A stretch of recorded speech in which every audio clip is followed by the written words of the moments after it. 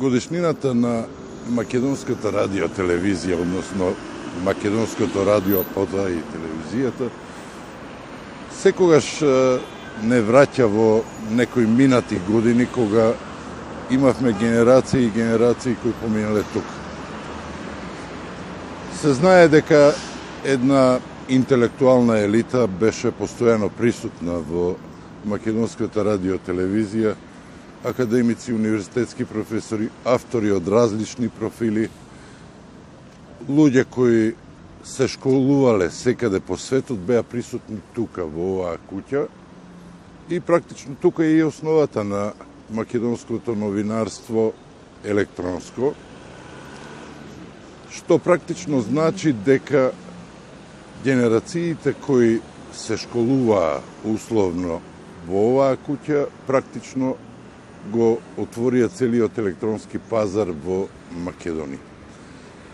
Времијата малку се променети, да не речем малку поеќе, со оглед на тоа дека генерации доаѓаат и одат, се отвараат нови простори, меѓутоа медиумскиот простор практично ни сите овие години овозможува да се создава некое квалитетно ново производство.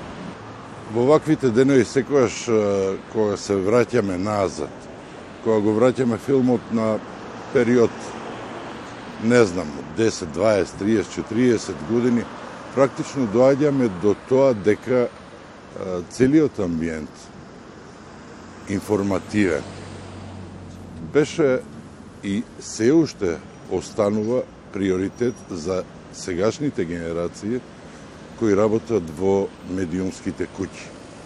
Факт е дека печатените медиуми одат во некое надолно ниво со оглед на цената на чинење, но затоа се појавуваат нови медиуми кои се присутни во македонската радио телевизија.